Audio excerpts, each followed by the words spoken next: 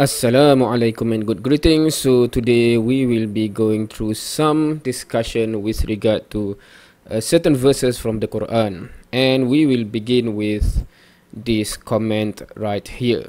It started with this comment. I have seen your YouTube video link that you mentioned in your comment. You are a very tricky man and I have seen a lot of dawah preachers like you. Well, please explain. And then he brought this verse. So we will be focusing on this verse. But before that, just for context, because he said, I have seen your YouTube videos because previously he asked for a different verse. Excuse me, brother, I do not know anything about Islam, question mark, but please be honest. Who do you mean by this verse? Please explain. And then he's brought this verse, uh, Surah At-Tawbah, which is Surah number 9, verse 29. And I have mentioned here as a reply on verse 929 maybe you can have a look at what i have stated about the verse here. I put the link here because i have covered as a response about this particular verse from you know sometime in the past where someone actually brought up this particular verse. And perhaps afterwards if there is something further that needs to be elaborated you can specify. So i have given the link to address this verse and then suddenly he he i'm not sure why he just simply said you are a very tricky man. Maybe he do not know what else to ask about that verse. So he suddenly jump into this verse. So we'll focus on this. Surah Al-Fatiha, verse number 7 this is the seventh ayah of the surah i.e surah Al-Fatiha. you muslims have been reciting surah Al-Fatiha five times a day called namaz for the last 1400 years.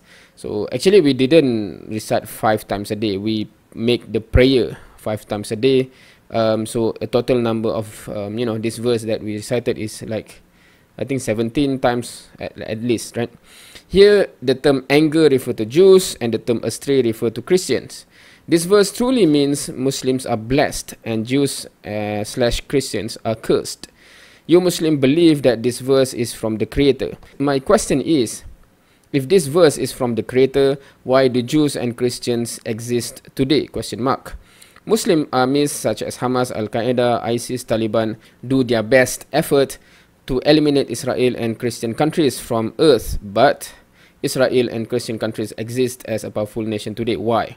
So it is a quite an interesting question. Firstly, I'm not sure I'm not sure how the verse relates to the question. So first to put in context, especially for those who are not familiar with this verse, let's take a look at that verse first. So this is Quran.com we can go to Surah Al-Fatihah, Surah number 1, and he highlighted uh, the seventh verse, which is the last verse of the the surah, right? Surah A'udzubillahi minasyaitonir rajim. Siratal ladzina an'amta 'alaihim ghairil maghdubi 'alaihim waladdallin. The path that uh, of those who has been bestowed favors onto them and not those who have earned um, your wrath or your anger on them and not those who have gone astray. So suddenly, past what what is this about? It's actually a continuation from the previous verse, which is A'udzubillahi minasyaitonirrajim. Ihdinas siratal mustaqim. This two verse is actually one single pray or one single dua, one single thing that we ask, we request from Allah Subhanahu wa taala, which is Ihdina, guide us as-siratal mustaqim to the path. Okay sirat is path mustaqim is the straight okay so of course in term of the grammar the arrangement is different in between english and arabic right? So guide us to the straight path if you want to translate become like this right? Okay guide us to the straight path.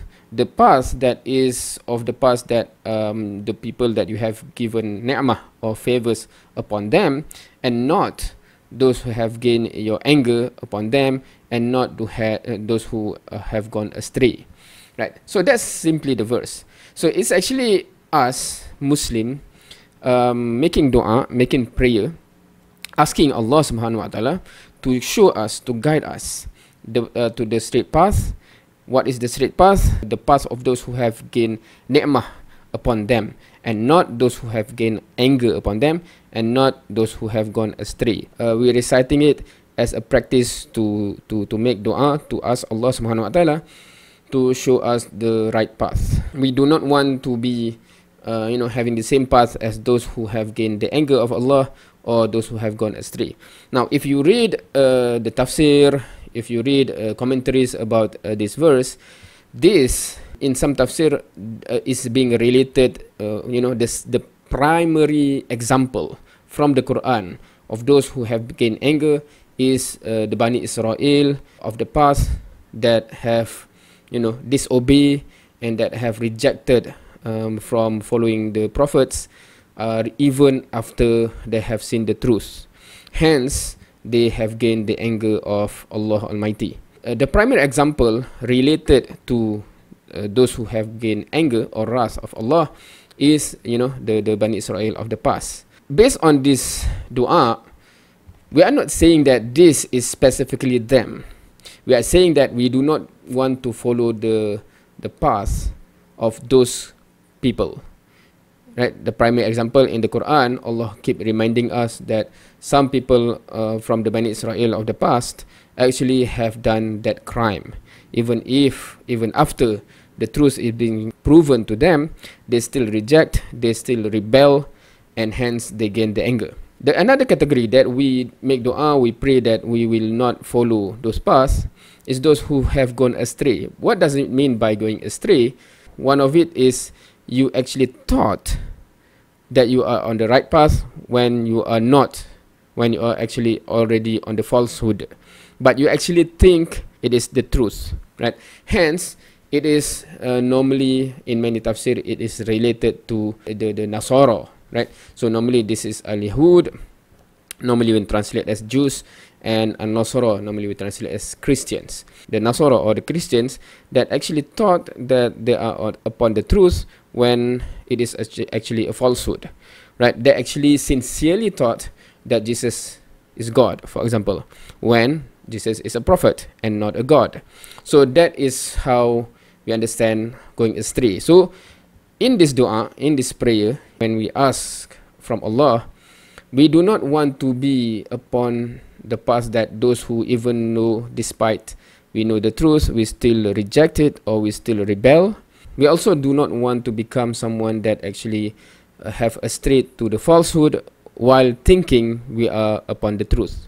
Going back to the comment here is my reply man. What do you mean by that? Okay that's for the first part. Okay.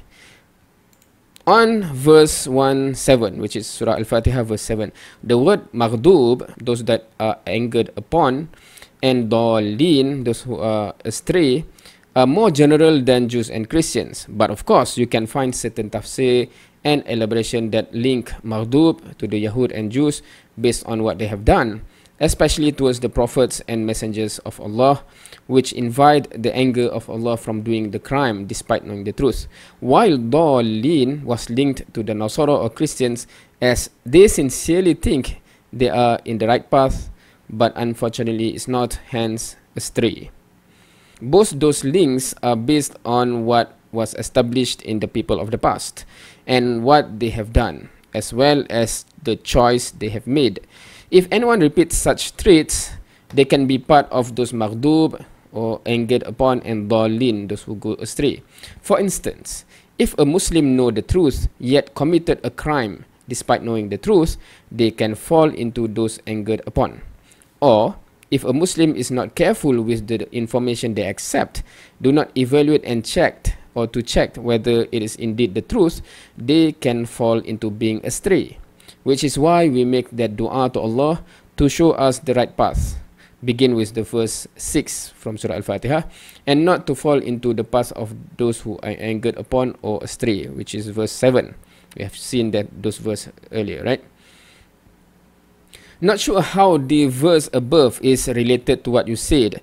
Means Muslim are blessed and Jews, Christian are cursed. So this is a quote from his comment.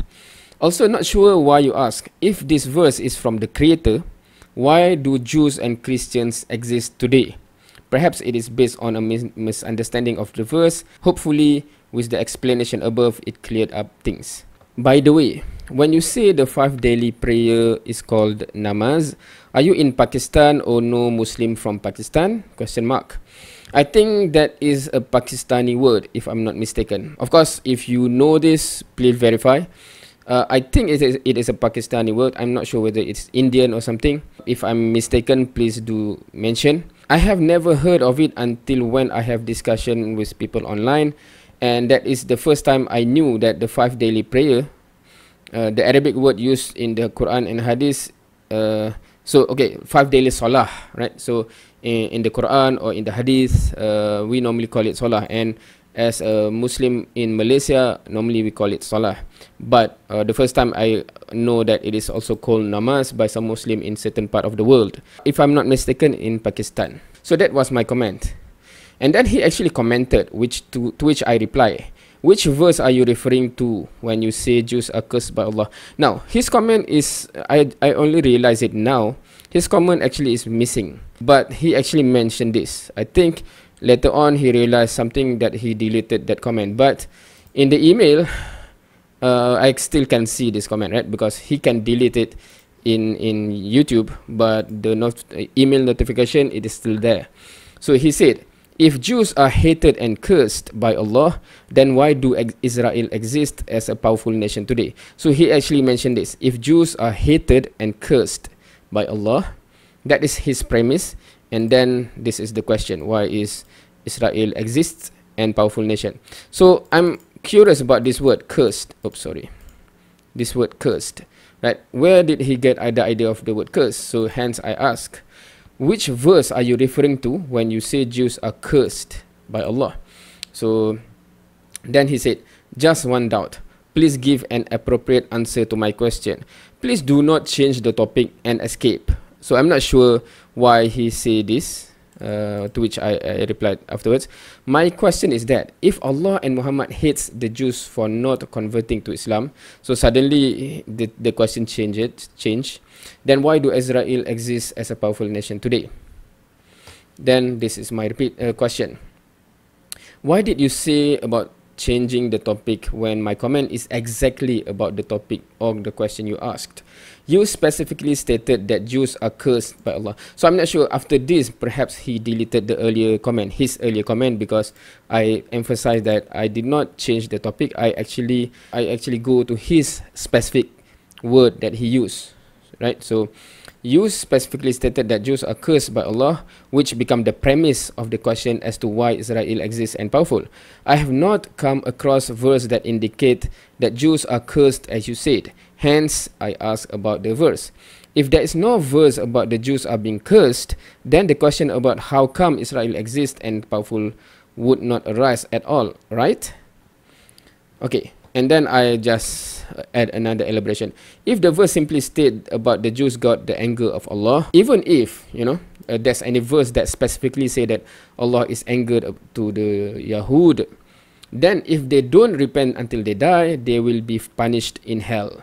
In a hadith, Prophet Muhammad wasallam stated that if this world is of any value, Allah would not even let those that reject him to even drink a sip of water from this world. But given that this world have no value to Allah, is only temporary and a place of test, Allah simply let those that reject him to gain as much wealth, power, etc. from this world. Even if Jews or anyone uh, that Allah angered upon, they will be punished in hell but uh, on this dunya on in this world they can gain any anything given that this world have no value and only temporary place of test he let anyone who want to gain as much of anything from this world no problem so that's my question where do he, he get this and then he said i repeat why only native Saudi Muslim exists in overall Saudi Arabia? Where are the Saudi Christian, Saudi tribes that exist 14,000 years back? So, okay, it ended here with my, my comment. Given that you accuse me of propagate lies, can you please pinpoint what lies that I have made in my comment? So that is 10 hours ago. Maybe you are, you are, you are confused. Why is this? But I only realized after that that he actually uh, deleted one more of his comment so which is this one right so after i have replied that he said you are a well trained dakwah preacher i'm not sure why he get this idea uh, i'm not trained at all. I'm just a normal practicing muslim. Anyway you propagate lies. Okay so this is his comment you propagate lies in a very sophisticated manner. Okay so this is his comment uh, you propagate lies in a very sophisticated manner. Before going to anything else because he specifically mentioned this accusation hence i replied given that you accuse me of propagating lies can you pinpoint what lies i have made in my comment? And to that he have not yet um, replied. Right so um, that's where we are now. Um, i hope anyone who is watching this is clear about you know the answer to his question about this verse.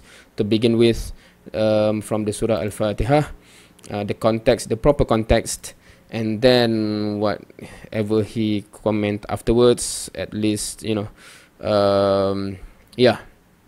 Uh, I hope that is of benefit as well. So uh, anyway so this is the end of this video. By the way if um, you are wondering why the video is in this format if you have watched the previous video before this uh, you would realize that my camera my video camera is having a, a little problem with the, the focusing of the lens. Hence until I get that rectified I have to find some some other mode or some other you know uh, way of, of, of making content. Hence this is just my voice with my my computer screen. Uh, hopefully it is still something that of interest of some of you at least. So with that thank you for watching. See you next time